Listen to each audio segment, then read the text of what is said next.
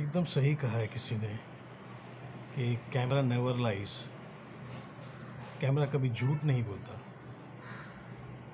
बिल्कुल सही बात है। जो आप हो, जैसे हो, कैमरा वैसा ही दिखाता है आपको, आईने की तरह।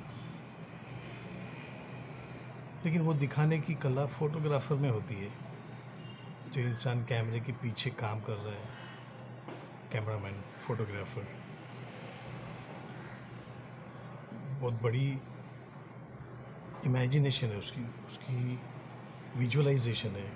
उसकी जो आँखें देखती है, वो आमतौर पर हर कोई नहीं देख सकता है। कलाकार है फोटोग्राफर इज़ एन आर्टिस्ट कोई भी इंसान फोटोग्राफी करता है तो उसके अंदर आर्ट है। उसके अंदर एक आर्टिस्ट है। नहीं तो कोई आ ही नहीं सकता फोटोग्राफी की लाइन में। वो अपने आर्ट को किस तरह से डेवलप करता है, कितना आगे जाता है, वो उसकी खुद के ऊपर है। पर बिना आर्टिस्ट किसी में होए और वो फोटोग्राफी में आए, ऐसा हो ही नहीं सकता है।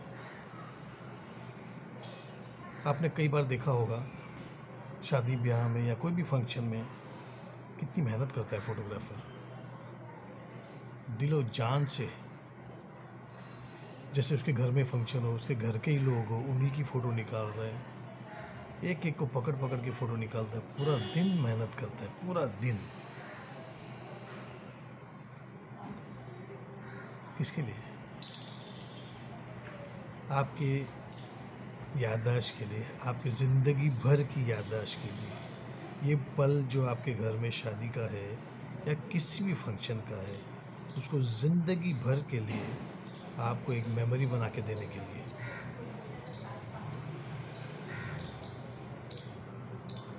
कई बार फ़ोटो देख के इंसान रोते हैं। अगर मिसाल पर समझो कोई विदाई का फ़ोटो है तो